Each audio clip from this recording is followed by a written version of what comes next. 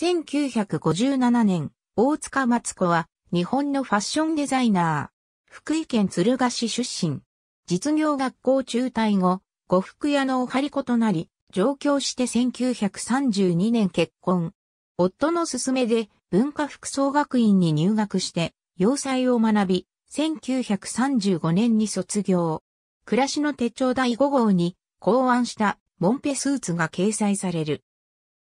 1948年に夫と死別し、総園の編集者を務めていた時、仕事で出会ったイサムの口に着用していたモンペスーツの素晴らしさを指摘されて退社、ファッションデザイナーとなる。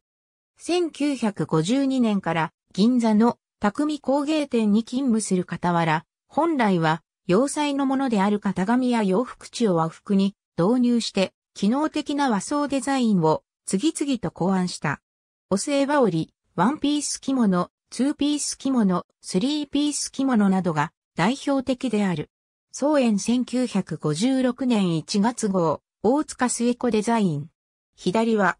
洋服地儀1953年には、高島屋百戦会の一員となり、1954年には、大塚松子着物学院を創立。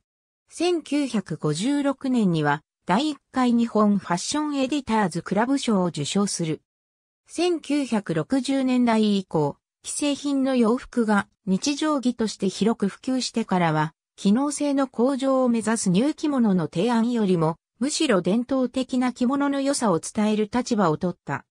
従来の茶羽織を改良した北毛70センチメートル程度の短い羽織物で、1単から2着、作れる、経済性、ポケット付きという機能性、伝統的な和裁では用いない、バイアス使いによる動きやすさなどが特徴である。水上努など著名人にも愛好された。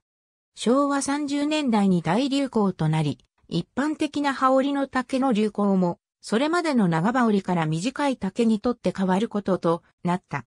昭和の着物、小泉和子著 IBS 978から4から309727523現代日本人名録1987年学生募集停止のお知らせ学校法人大塚学院。